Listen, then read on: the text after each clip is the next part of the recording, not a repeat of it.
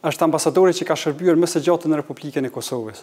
Ai për gati një dekadë ka kontribuar në konsolidimin e raporteve vëllazërore në mes të Republikës së Kosovës dhe asaj të Shqipërisë. Sot në studio kemi ambasadorin e Shqipërisë, zotrin Qemal Minxhozi. Zoti Minxhozi, faleminderit që pranuat ftesën për këtë intervistë. Faleminderit për juve. Zoti ambasador, ju kemi parë këto kohëve të fundit që jeni duke i zhvilluar takimet lamtumirëse me lidershipin politik të Kosovës. Cila është ndjenja që keni shërbyer aq gjatë në Kosovë? Në radhë parë unë ndjehem shumë i privilegjuar që të kem shërbyer në Kosovë për afër një dekadë. Kam mësuar shumë, kam njohur shumë njerëz të gjitha fushave të jetës, me cilët kam vendosur marrëdhënie në radhë parë vëllazërore, pastaj institucionale dhe shtetërore.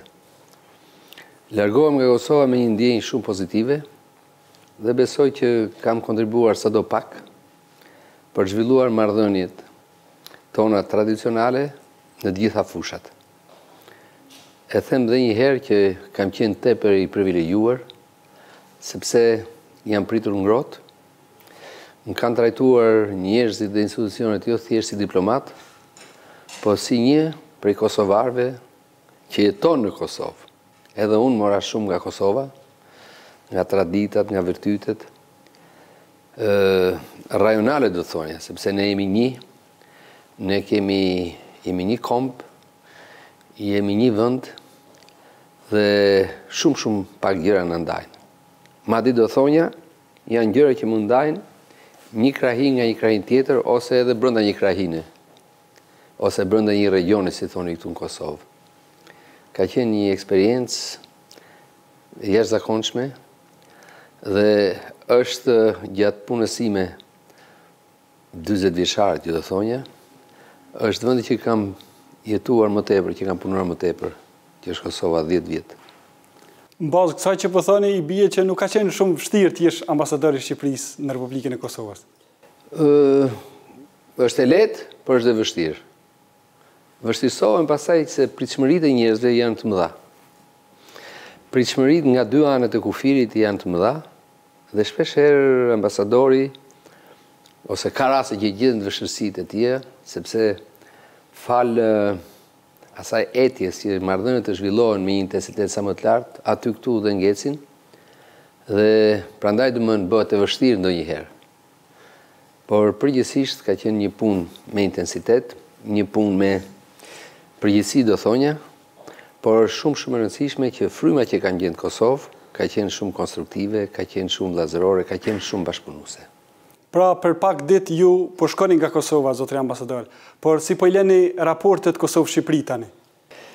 E di ku do të ku do të dalësh me pyetje, por raportet Shqipëri Kosovë konsolidohen çdo ditë, se nuk nuk janë thjesht marrëdhënie shtetërore, që të cilat ecin, po janë edhe marrëdhënie në të gjitha fushat. Domethënë kur themi marrëdhënie të gjitha fushat janë nga fusha e kulturës, te fusha e ekonomisë, te fusha e mbrojtjes, Te fusha e sigurisë, të gjitha këto vazhdojnë. Domethënë dita ditës ka rritje. Bizneset e Shqipërisë dhe bizneset e Kosovës janë rritur tek njëra tjetra gjatë viteve në vazhdim. Janë bërë disa mbledhje qeverie dhe kanë pasur atë rëndësinë e tyre. Mund të ishin bërë më tepër, por prapë se prapë nga ku është filluar në 2014 e deri sot që jemi, ka një rritje goxha të mirë. Megjithatë është një lloj konstatimi i përgjithshëm që kohëve të fundit në raportet mes këtyre dy vendeve ka një lloj ngërçi nëse mund të themi. A pajtoheni me një konstatim të tillë?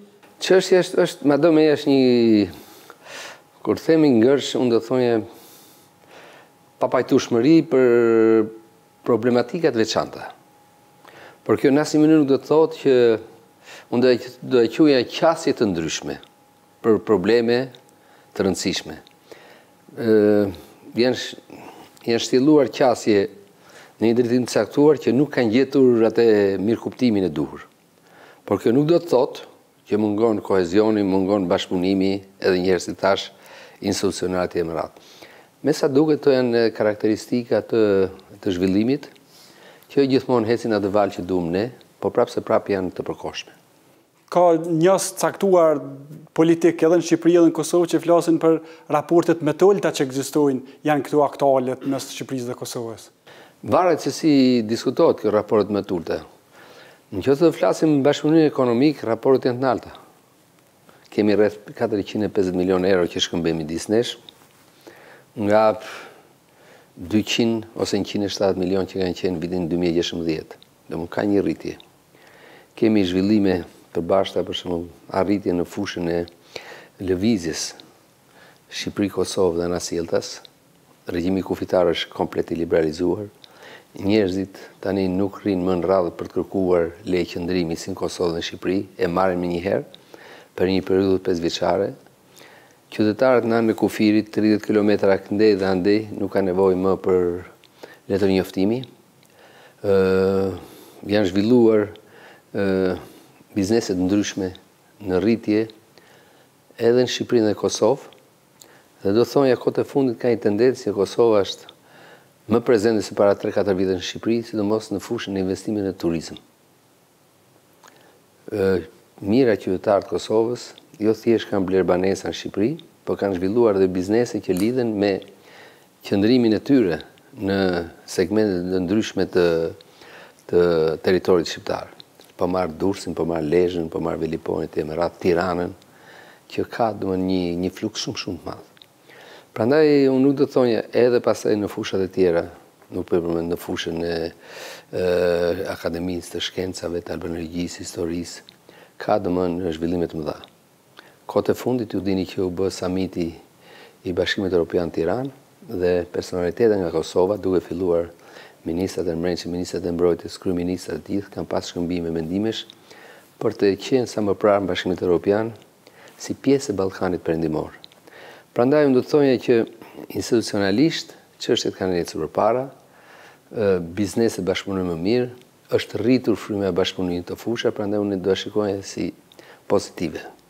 Megjithatë, duke i parë raportet e fundit mes dy kryeministrave, është fituar përshtypja se ka një lloj ftohje të raporteve mes dy mes dy vendeve.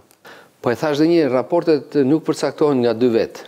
Raportet janë ndërinstitucionale dhe tani që po flasim bashkë, ne presim nesër një delegacion të vijë nga Shqipëria, këtu në Kosovë, domethënë ka lëvizje, kuptohemi drejt, nuk është puna që janë ngurtësuar, institucionet e shtetit nuk funksionojnë.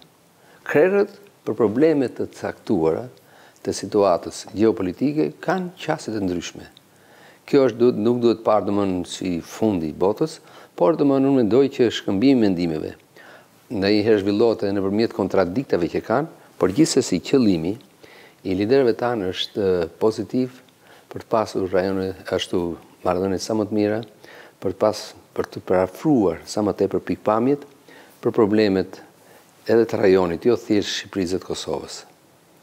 Kemi parë edhe në praktikë, zotëri ambasador, s'ka ndodhur asnjëherë më herët të anulohet një qeveri, një mbledhje e qeverive të përbashkëta, pastaj erdh zotëri Rama në Kosovë dhe nuk u prit nga nga zotëri Kurti, a mund të tejkalohen këto veprime? Patjetër. Herë pas here, herë pas here, ka pasur domthonë praktika të tilla, por unë jam shumë i bindur që këto do të tejkalohen patjetër. Është ka një vullnet, ka një komunikim që këto do patjetër do të tejkalohen. A kanë ndryshuar diçka raportet e Kosovës me Shqipërinë me ardhjen e qeverisë Kurti në pushtet? Në ç'kuptim? Kuptimin e ftohjes të raporteve, ta zëmë, domethënë deri me tani janë mbajtur vetëm dy mbledhje të përbashkëta nëse nuk... Më fal, mbledhjet e përbashkëta të qeverisë, qeverive janë mbajtur çdo vit. Mbledhja e fundit, prapëseprapë domethënë ato duhet të kemi parasysh diçka.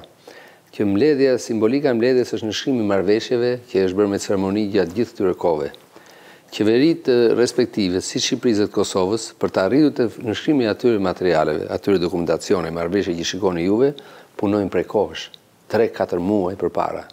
si në Shqipëri dhe në Kosovë për të rakorduar për problematikën. Të jeni të bindur që ato në marrëveshje që janë nënshkruar pa ceremoni, po që janë nënshkruar midis ministrave, përmbajnë frymën e këtij bashkëpunimi. Prandaj po them unë që një mbledhje nuk nuk nuk do të thotë që përgatitet brenda ditës. Për të bërë një mbledhje qeverie, organizohen dhjetëra konsulta, takime të përbashkëta si në Tiranë dhe Prishtinë, për të përafruar qasjen për problemet që shqetësojnë ekonominë, që shqetësojnë tregtinë, marrëveshjet, domthon të gjitha fushat. Prandaj domthon ë mpakje e raporteve midis krerëve nuk do të thotë që qeveritë nuk janë në funksion të njëra-tjetrës për të realizuar ato marrëveshje që folëm dhe më sipër. A mund të presim që së shpejti ta kemi një mbledhje të radhës të përbashkët me dy qeveri, apo diskutohet kjo çështje? Jo, vitin e ardhshëm do të jetë mbledhja e radhës e dy qeverive, domthonë i bjen mbledhja e dhjetë, mendoj unë. Akoma nuk është diskutuar se kur do kur do të mbahet, sepse kjo përcaktohet nga nga fundi vitit ose fillimi i vitit të ardhshëm. Por gjithsesi, domethënë, jemi në kontakt vazhdueshëm me gjitha institucionet për paraqitur idetë se si do të jenë projektet për vitin që do vijë. Zotëri ambasador, çfarë duhet të bëjnë dy qeveritë, në fakt edhe dy shoqëritë që të intensifikohen edhe më tepër raportet mes mes dy republikave? A mund të bëhet më tepër? Natyrisht. Shiko, secili prej nesh mund të bëjë më tepër. Secili prej nesh mund të bëjë më tepër. Mund të bëjë më tepër sepse domthon raportet nuk janë thjesht qeveria. Raportet thatë shumë mirë ju, është dhe shoqëria civile, janë institucionet, janë arsimi, shkenca, janë është është një koncept shumë shumë më i gjerë. Sa më tepër kreativ të jemi ne, Aq më mirë do reflektohen pastaj edhe në ndryshimet që mund të bëhen në legjislacion, ndryshimet që mund të bëhen në në të gjitha në të gjitha fushat. Për shembull, një qasje shumë interesante gjatë vitit që kaloi ka qenë dhe mbledhja e dy parlamenteve. Po, për herë të parë që ndodhi. Për herë të parë që u bë. Dhe këto marrëdhënie janë për shembull Parlamenti i Shqipërisë dhe Parlamenti i Kosovës Funksionojnë në baza, do të them unë, mujore, duke pasur shkëmbime të të ndërsjellta. Fjala vjen shumë shpejt një delegacion i ekonomisë së Shqipërisë, nga parlamenti do të vijë në Kosovë për të mbajtur një takim të radhës.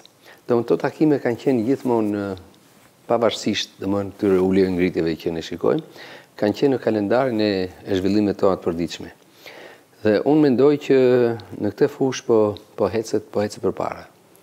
Së fundi, zoti ambasador, kemi parë një përpjekje të shtuar të kryeministrit Rama për të për t'u marrë me çështjen e Kosovës, duke adresuar edhe çështjen e dialogut edhe çështje tjera. Në të njëjtën kohë nga Kosova, nga eksponentë të pushtetit aktual kjo është parë si një tendencë, një përzierje e kryeministrit Rama në çështje të brendshme të Kosovës. Si i keni parë këto kritika të eksponentëve të pushtetit ndaj kryeministrit Rama? Unë nuk do hy në hollësi për ça pysni juve, por gjithë çështja është që si Kosova dhe Shqipëria janë dy elemente shumë të rëndësishme të rajonit të Ballkanit, të Ballkanit Perëndimor. Ashtu siç është dhe pjesa shqiptare e Maqedonisë ose është pjesa shqiptare e Malit të Zi. Domthon çështja shqiptare nuk është, si me thënë, ë një diçka që i takon vetëm një një segmenti të hapësirës shqiptare. Po i takon që të gjithëve bashkë. Ne duhet të kemi politika të përbashkëta për sa i përket për çështjet me interes të madh, ë rajonal që afektojnë si Shqipërinë, Malin e Zi, Kosovën, edhe Maqedoninë e Veriut. Pra në këtë plan do thonja, ato mendime që kryeministri Rama ka dhënë, janë mendime domethënë në në fazën e një këshille, një sugjerimi, për t'u marrë në konsideratë, nuk do të thotë që ajo që thuhet në Tiranë patjetër duhet të merret në Prishtinë, duhet të zbatohet patjetër ose ajo që thuhet në Prishtinë Tiranë. Çështja është që ne duhet të jemi pak më të hapur edhe nga mendimi ndryshe për çështje që kanë interes jo vetëm për Kosovën e Shqipërinë, po edhe për gjithë rajonin. Pra me këtë doni të thoni se nuk duhet të shqetësohen eksponentë të caktuar në Kosovë për atë që çfarë thotë kryeministri Rama? Tash unë nuk nuk thash, problemi është që neve duhet të zhvillojmë sa më tepër idetë për zgjidhjen e një ngërçi politik, për një zhvillim më të mirë rajonal, sepse si Shqipëria dhe Kosova janë aktorë shumë të rëndësishëm në skenën e mbarëvajtjes së çështjeve rajonale. Prandaj duhet pritur një mendim i Tiranës zyrtare ose një mendim i Prishtinës zyrtare, ndaj njëra tjetrës duhet pritur më me si me thënë me me dashamirësi. Me dashamirësi. Sepse kjo ka të bëjë në radhë të parë domethënë për zgjidhjen sepse bota sot është futur në nuk është bota e djeshme, nuk është bota e para pesë gjashtë viteve. Sot ka zhvilluar, jetojmë në një klimë tensioni ndërkombëtar. Shikoni ç'ndodh në Izrael, shikoni ç'ndodh në Ukrainë, Rusi që mendohej se kjo ishte një luftë që do mbaronte për dy muaj, tre muaj. Këto krijojnë probleme shumë, shumë të mëdha, vala e refugjatëve, domethënë gjithë Evropa është mbushur me problematika shumë të mëdha. Dhe ka ardhur koha që ato probleme që janë tepër emergjente duhet të marrin një zgjidhje patjetër sot. Nuk ka qenë shtruar kjo situatë ose këto kërkesat e bashkimit ndërkombëtar sot, nuk janë të njëjta me ato që ka pas bashkimi ndërkombëtar para pesë-gjashtë viteve. Sot, domethënë, duhet dhënë zgjidhje një herë përgjithmonë disa problematikave që janë të zvargura, që nuk janë të krijuara sot, po që janë krijuar thuajse para një dekade në vazhdim që nuk kanë gjetë zgjidhje. Dhe sot, për shkak të këtyre elementëve që thashë më parë, Për shkak për të ndalur çdo konflikt, për shkak për t'i dhënë një dimension të ri raporteve ndërshtetërore, ndërrajonale midis gjithë aktorëve të Ballkanit Perëndimor, është shumë shumë e rëndësishme që të jepet zgjidhje një herë përgjithmonë problemeve të mbartura që duhet zgjidhen me një frymë tjetër Kjo edhe si rezultat i një presioni pozitiv ndërkombëtar, jo vetëm ndaj Kosovës, por edhe Serbisë dhe më gjerë. Pra gjitha këto këshilla që vijnë nga Tirana, nga përfaqësues të ndryshëm atje, janë pothuajse të njëjta me ato që vijnë nga partnerët e Perëndimit. A mendoni se këto duhet të respektohen dhe të zbatohen nga Qeveria e Kosovës, sidomos ato që kanë të bëjnë me dialogun Kosovë? Më falni një minutë, problemi edhe Qeveria e Kosovës Edhe klasa politike e Kosovës po bën përpjekjet e saja për të dalë nga kjo situatë që gjeopolitike rajonale. Nuk do ta kemi të njëanshme këtë punë. Por sa më tepër mendime e ide të kenë, qoftë nga Tirana, qoftë nga këtu, është shumë e rëndësishme që të harmonizohen njëra me tjetrën për një qëllim të përbashkët. Edhe Tirana dhe Kosova kërkojnë që situata e deri tashme të normalizohet, por qasjet ndonjëherë janë të kundërta një me tjetrin dhe krijohet ajo problematikë që ne e dimë të gjithë. Shumë e rëndësishme është që shkëmbimi i mendimeve dhe ideve nuk do të na çojë në ngelje hatri në një moment të caktuar apo një tjetër, por t'i ballafaqojmë ato për të qenë në një sintoni edhe me dëshirat e Bashkimit Europian për të dhënë zgjidhjet më të mundshme, më adekuate për problematikën që jetojmë sot. Dhe për fund, zoti ambasador, siç e thamë edhe në fillim, ju keni kaluar pothuajse pesë qeveri ose gjashtë qeveri në Kosovë pra. Me gjithë kryeministrat kemi parë se keni pas raporte korrekte, po a do të mund ta dalloni ndonjërin prej tyre, pra keni pasur raporte me zotrin Thaçi, me zotrin Mustafa, me zotrin Haradinaj, me zotrin Hoti, tash dy herë me zotrin Kurti, qeverinë Kurti një dhe dy. A do ta veçoni ndonjë Raport më të veçantë me ndonjën prej këtyre liderëve? Individual? Po. Unë tashti kam pas fatin e madh që të punoj me të gjithë prej këtyre që thatë ju dhe fatmirësisht unë kam gjetur një gjuhë të përbashkët komunikimi me të gjithë prej tyre. Me të gjithë. Dhe unë kam parë që ka qenë një dëshirë e madhe e tyre që marrëdhëniet midis nesh të vijnë duke u forcuar duke u bërë. Ambasadori ka rolin e një katalizatori dhe jam munduar ta bëj më së miri aq sa mund dhe kujtoj me respekt gjithë kryeministrat e Kosovës me të cilët kam pasur një bashkëpunim thelbësor, të sinqertë dhe të vazhdueshëm.